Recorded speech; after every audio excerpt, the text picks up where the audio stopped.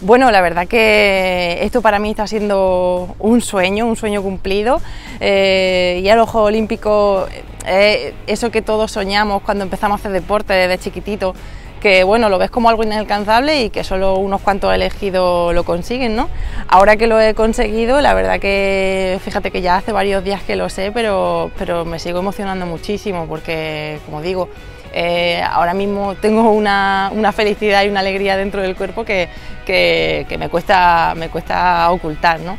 Sobre todo teniendo en cuenta que, bueno, también es verdad que mm, me pilla un momento de mi vida en el que ya no tengo 20 años, ya tengo 32 y lo he tenido que ir compaginando pues en un principio con mi vida como, como alumna, luego como investigadora haciendo la tesis y bueno, y ahora también trabajando aquí en la UIB eh, como docente e investigadora,